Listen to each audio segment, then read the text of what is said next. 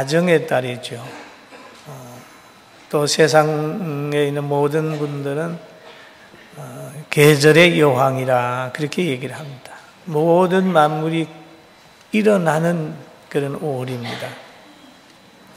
그런데 5월의 정신은 어떤 정신이냐 하면 어린이를 잘 키워보자, 사랑하자 하는 정신이고 또 5월의 정신의 한 부분은 부모님께 효도하자 또 올해 정신의 또 한 부분은 좋은 선생님이 되어보자, 좋은 스승이 되어보자. 그래서 어린이 주간, 어버이 주간, 또 스승에 대한 사랑을 깨닫는 그런 주간이 있어요.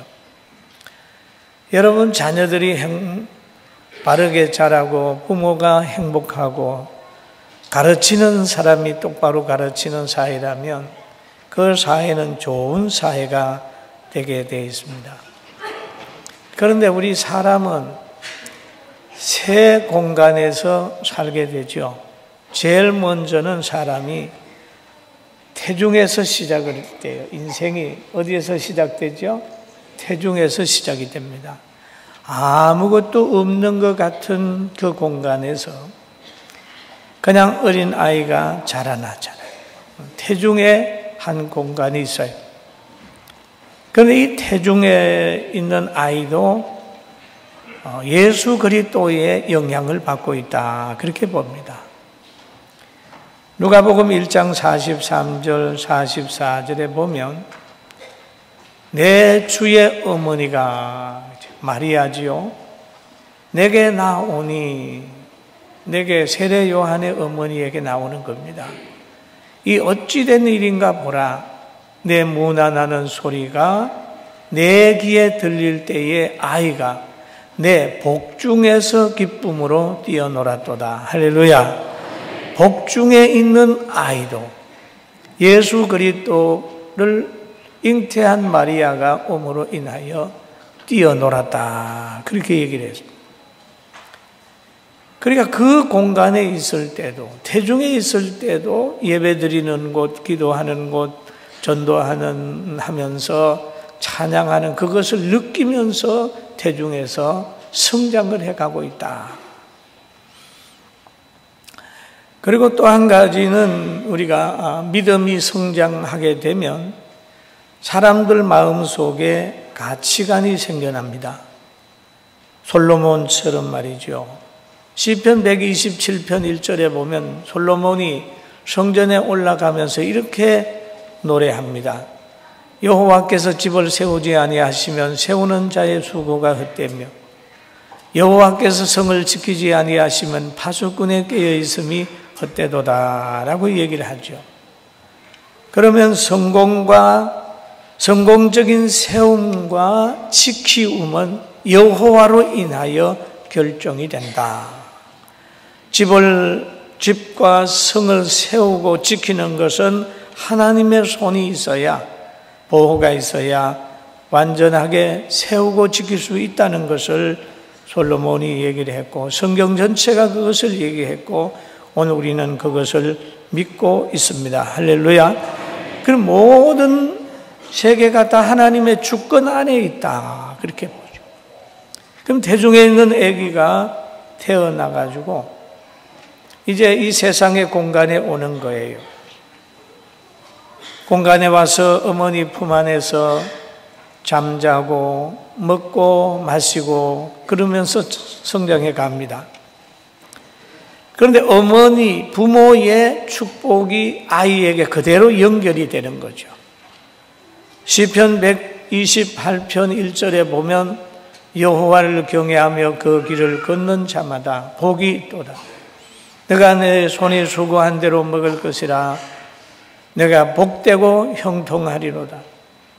내 집 안방에 있는 내 아내는 결실난 포도나무 같으며 내 식탁에 둘러앉은 자식들은 어린 감람나무 같으리로다. 여호와를 경외하는 자는 이같이 복을 얻으리로다. 라고 말씀하셨어요. 그러면 바로 아내가 행복을 느끼고 그 입술에서, 그 표정에서, 그의 삶에서 포도나무에서 집을 쏟아내는 것처럼 그 남편이 행복할 수 있도록 그게 뭔가 기쁨을 쏟아내는 것은 바로 여호와를 경외하는 가장에 의해서 남편에 의해서 아내의 인격과 아내의 그 모습이 바꿔진다. 그렇게 얘기하죠. 그리고 자녀들도 그냥 자라는 것이 아니라 여호와를 경외하는 가정의 자녀들은 희망이 있고 어린 감람나무 같이 소망이 있다. 이렇게 얘기를 하는 겁니다. 사랑하는 성도 여러분, 오늘 우리가 좋은 부모가 되어서 어린 아이들이 하나님의 축복 속에 거하게 되는 복의 조상 아브라함의 후예가 되길 주의 이름으로 축원합니다. 그리고 또 이런 복이 어디에서 오느냐? 시편 128편 5절 6절에 보니까 여호와께서 시온에서 내게 복을 주실지어다. 시온에서 하나님의 집에서 너는 평생에 예루살렘의 번영을 보며 내 자식의 자식을 볼지어다 이스라엘에게 평강이 있을지로다 라고 말씀하셨어요. 여러분 시온을 가까이 하고 예루살렘의 번영을 보며 자식의 자식을 보는 복 있는 삶으로 날마다 승리하게 되시기를 바랍니다. 자식은 여호와의 주신 기업이라고 했어요. 하나님이 주신 기업은 하나님의 뜻대로 경영을 해야 성공을 하는 거예요.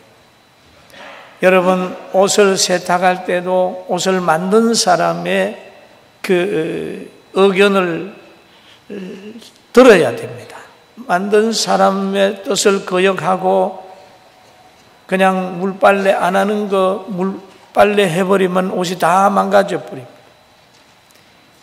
여러분 화분을 키우는데도 보니까 아무것도 모르고 내 마음대로 막 갖다 줬더니 물 주면 좋은 줄 알았더니 성인 장에는 물 자주 주니까 죽어버리지. 그러니까 이 화분에도 또 어떤 나무에도 짐승에도 그에 걸맞는 그가 원하는 대로 해줘야 되는데 자기 주장대로 하다가 보면 되는 게 없어요. 그러면 사람을 가장 잘 아시는 분이 누굴까요? 만드신 분이에요. 창조주입니다. 그분이 자녀를 키우는 방법을 우리에게 알려주었습니다. 잠언서 14장 26절에 보니까 여호와를 경외하는 자에게는 견고한 의뢰가 있나니 그 자녀들에게 피난처가 있으리라 라고 했습니다. 또 잠언서 22장 6절에 보니까 마땅히 행할 길을 아이에게 가르치라. 그리하면 늙어도 그것을 떠나지 아니하리라. 라고 했어요. 우리가 젊어서는 어린, 자녀가 어리니까 아버지, 엄마가 교회 오기도 하고 안 오게도 할 수 있어요. 부모가. 그런데 아이한테 부모가 그렇게 마음대로 양육을 해버리면 나중에 노년에 갔을 때 아이가 자기 마음대로 신앙생활 하다가 보면 부모님을 전혀 의식하지 않고 이사도 가고 그러면 나중에 가면 힘들어집니다. 여러분, 지금은 아이 중심으로 잘 키우기 위해서 신경을 쓰게 될 때, 나중에 그 아이가 신앙이 들어가면 노년에 부모님 모시고 살면서 자기 중심이 아니라 부모님 중심으로 신앙생활 함으로 노년의 부모님이 행복해져요. 할렐루야. 여러분, 우리는 이 모든 것을 생각해야 됩니다. 전도서 기자는 말합니다. 이제 전도서 6장 3절에 사람이 비록 100명의 자녀를 낳고 또 장수하여 사는 날이 많을지라도 그의 영혼은 그러한 행복으로 만족하지 못하고 또 그가 인정, 안정되지 못하며 나는 이르기를 낙태된 자가 그보다는 낫다 하나니. 여러분, 자녀로 인하여, 때로는 장수로 인하여 영혼의 만족은 없다. 그것으로 인하여 행복을 추구하고 영혼의 행복을 추구한다면 차라리 그 사람은 태어나서 낙태된 자보다 못하다. 그 사람, 낙태된 사람이 그 사람보다 낫다. 그러나 여러분과 저는 예수 믿음으로 해서 정말 하나님의 나라 상급받는 위치 곳으로 가고 있기 때문에 우리는 행복자입니다. 아멘. 100명의 자녀가 없어도 장수를 못한다 할지라도 하나님이 우리에게 주신 이 구원받은 자의 영광은 엄청 좋은 거예요. 이 좋은 것을 깨달으면서 신앙생활 하십시다. 할렐루야. 그리고 바울 사도는 늘 그런 얘기를 하죠. 아, 자녀들아 너희 부모를 주안해서 순종하라. 내 아버지와 어머니를 공경하라. 이것이 약속 있는 첫 계명이니 땅에서 장수하고 어? 장수한다. 잘 된다. 그렇게 얘기를 하죠. 신앙생활 하면 자녀는 효자가 되고 신앙생활 잘하면 부모님은 자녀를 바르게 양육하는 지혜를 가지게 되는 거예요. 또 말하기를 아비들아 너희 자녀들을 노엽게 하지 말고 주의 어, 교훈과 훈계로 양육하라. 여러분 자녀는 우리의 소유물이 아닙니다. 자녀는 하나님께서 주신 기업입니다. 하나님의 뜻대로 양육해야 됩니다. 함부로 때리거나 어떤 사람 보면 자기가 없으면 이 아기가 어떻게 살까 그렇게 생각이 들어서 같이 자살하려고 하다가 아이만 죽고 부모가 사는 그런 것들을 보았어요. 아이는 자, 어, 부모의 소유물이 아니. 자기의 꿈을 펼치기 위해서 그 아이에게 막 자기의 뜻대로 하는 것도 아닙니다. 여러분, 하나님이 주신 기업인 줄 알아. 하나님 뜻대로 잘 양육하십시다. 할렐루야. 그런데 얼마 전에 여론조사를 했더니 교회 중직들 가운데도 학원 가는 거 하고 교회 가는 거 하고 겹치어치게 되면 학원으로 보낸다. 그 말을 들었어요. 반수가 그렇다는 거죠. 그럼 어떻게 되겠어요? 그 부모 밑에서 다니엘과 같은 사람이 나오겠습니까? 그 부모 밑에서 사드락과 메사카 아벤노고와 같은 위대한 인물이 나오겠습니까? 다니엘 같은 에스더와 같은 인물이 나오겠어요? 여러분, 그 부모, 그 자녀가 나중에 어떻게 되겠습니까? 여러분, 하나님 중심으로 잘 키워서 전능하신 하나님의 손이 그를 붙들고 성공하게 승리하게 만드는 지혜를 공급하는 부모가 되기를 주의 이름으로 축원합니다. 여기에 보면 태의 열매는 그의 상급이로다. 그랬습니다. 상급이다. 여러분, 자녀 없는 가정은 있어도요, 부모 없는 가정은 한 가정도 없습니다. 부모는 계세요. 자녀는 건강한 사람이 사랑하는 사랑의 열매, 건강한 가정에서 태어나지요. 그래서 믿음의 조상들도 보면은 자녀를 달라고 기도를 했어요. 아브람도 기도를 드렸고 한나도 기도를 드렸습니다. 사가라도 기도를 드렸어요. 우리도 그런 기도를 드려본 일이 있습니다. 지금도 드리고 있습니다. 신령한 가족이 부흥되기를 원해서 기도하고 있습니다. 많은 자녀들이 어린 아이들이 교회에 나와서 꿈을 키워가고 전능하신 하나님의 손에 붙들려 승리하기를 원해서 지금 기도하고 있습니다. 한나라고 하는 사람이 결혼을 했는데 아기가 안 들어섰어요. 그러니까 이 남편이 또 다른 여자 분인나라고 하는 여인을 얻었습니다. 그래서 분인나라고 하는 여인은 아기를 잘 가지고 잘 낳았어요. 그런데 그 남편의 마음은 늘 한나에게 와 있었습니다. 시기한 분인나가 한나를 괴롭힙니다. 한 남자를 두고 두 여자가 지금 서로 자제하기 위해서 그렇게 신경적으로 싸움을 하고 있는 거예요. 신경전을 하는 거예요. 그러면 늘 한나는 자녀가 없기 때문에 그 둘 사이에서 상처를 받는 거예요. 그러니까 이 상처받은 한나가 사무엘상 1장 1절에 이렇게 기도를 마음이 괴로워서 여호와께 기도하고 통곡하며 서원하여 이르되 만군의 여호와여 만일 주의 여종의 고통을 돌아보시고 나를 기억하사 주의 여종을 잊지 아니하시고 주의 여종에게 아들을 주시면 내가 그의 평생의 그를 여호와께 드리고 삭도를 그 머리에 대지 아니하겠나이다. 라고 기도를 드렸어요. 그러니까 하나님께서 그의 태의 문을 열어주셨어요. 하나님이 그에게 응답해 주셨습니다. 사무엘을 주셨습니다. 그러니 한나는 기도했던 것을 생각을 하면서 저절된 후에 엘리 제사장이 시무하는 그 성전에서 자라게 만들었습니다. 그랬더니 하나님께서 서원을 갚는 그 기특함, 그 거룩함, 그 약속을 지키는 아름다운 모습을 보시고 세 아들과 두 딸을 줘서 행복한 가정을 꾸려가게 만들었습니다. 할렐루야. 서원하며 기도했다. 서원.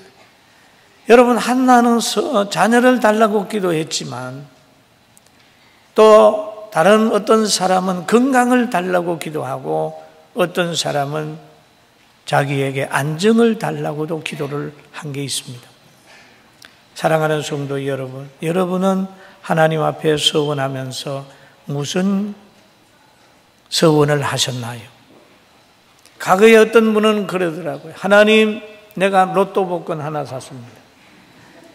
90%를 드릴 테니까 당선시켜 주세요. 그런 서원은 조금 그러잖아요. 그것도 서원 중에 하나지요. 그러나 못 탔어요. 그러면 서원 안 지키도 돼요. 어떤 분은 그랬대요. 결혼 반지가 없어졌어요. 하나님. 이거 찾으면 신앙생활 잘할게요. 그래가지고, 하, 신경 쓰다가 어느 날 농정리를 하다 보니까 제일 밑창에 들어 있더라는 거예요. 그걸 탁 찾는 순간에 서원한 게 생각이 나는데 얼마 있다가 잊어버렸다. 잊어버렸다는 말은 반지를 잊어버렸다는 소리가 아니고 서원한 걸 잊어버렸다는 얘기예요. 여러분 중에도 혹시 자기가 서원하고 약속한 거 잊어버리고 사는 분 계시나요? 어떤 분은 또 그러잖아요. 결혼하기 전에 남자가 여자한테 약속을 하는 거예요. 내가 결혼하면 분명히 신앙생활 잘할 거다.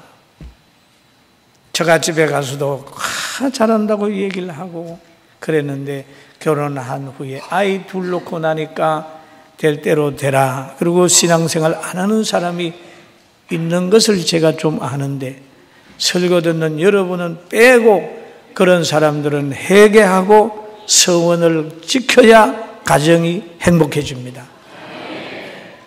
아멘. 아멘. 그러면 우리도 서원했잖아요. 약속했잖아요. 세례 받을 때 하나님 이렇게 살겠습니다. 집사 또 어, 세범을 받을 때 그렇게 약속을 하죠. 또 안수 받을 때 그런 약속을 합니다. 서원은 갚아야 됩니다. 지켜야 됩니다. 그러면 하나님이 그에게 더 은혜를 주일 성수하겠다 또 뭐 하겠다 쭉 서원하는 전도서 5장 6절에 보니까 이렇게 말하고 있습니다. 내 입으로 내 육체에게 범죄하지 범죄하게 하지 말라. 천사 앞에서 내가 서원한 것을 실수라고 말하지 말라. 어찌 하나님께서 내 목소리로 말미암아 진노하사 내 손으로 한 것을 멸하시게 하랴라고 얘기를 하죠. 여러분 우리가 하나님 앞에 기도하면서 서원한 거 갚기를 더디하지 말고 가정에 빠른 시간 내에 회복이 있기를 주님의 이름으로 축원합니다. 여러분 하나님보다 더 사랑하는 게 있다면 우상입니다. 하나님은 자기 사람이 자기의 능력을 덧입고 하나님이 주는 복을 받아서 자녀와 남편과 아내와 온 가정이 행복하게 살기를 원하고 계십니다. 그렇기 때문에 나와 가까이 하라는 거예요. 그래서 때로는 자기만을 사랑하도록 그렇게 하는 거예요. 하나님이 이기주의가 아니에요. 사랑하기 때문에 그래. 그러잖아요. 어린 아이들 보고 부모님이 그러잖아요. 너 배고프면 전화해. 내 갈게. 어려움 당하면 전화해. 내가 도와줄게. 이렇게 하는 거는 전화하라고 하는 것은 그를 괴롭히기 위해서 한 게 아닙니다. 그의 삶에 끼어들어서 그러하여금 고통 주려고 하는 게 아니에요. 도와주려고 하는 거죠. 기도하라고 하는 것은 왜 그럴까요? 도와주겠다는 거예요. 하나님의 따뜻한 사랑 꼭 기억하게 되기를 바랍니다. 출애굽기 34장 44절에 보니까 같이 한번 읽어 볼까요? 너는 다른 신에게 절하지 말라. 여호와는 질투하신 질투하시는 하나님이시라라고 얘기를 하 질투하시는 하나님. 여러분 부부간에도 결혼한 후에 다른 여자나 남자가 도전해 오면 여러분 뭐가 일어납니까? 질투가 일어나서 싸움이 시작이 되는 거예요. 범사에 감사하고 몸이 아프거든 성화를 더 이루고 가난이 오거든 기도할 시간을 주셨다고 생각하고 감사하고 대적이 일어나고 문제가 생겼거든 내가 이겨서 영원히 살 집은 아니지. 잠시 어려움 오는 거 곧 끝나겠지라고 하는 기대를 가지면서 행복하게 열심히 살게 되기를 바랍니다. 할렐루야. 여러분, 우리는 천국으로 가고 있죠. 모세가 가는 길에 홍해도 있었고, 모세가 가는 길에 강야도 있었어요. 그러나 목적지가 가나안이 소망을 가지고 가야 됩니다. 신앙생활 하면서 얼굴을 환하게 펴고 하나님이 짝 지어주고 만나게 한 아내들 아내 많이 사랑하고 남편 사랑하고 자녀들에게 꿈을 심고 행복을 일구는 좋은 성도들 다 되기를 주님의 이름으로 축원합니다. 기도하겠습니다.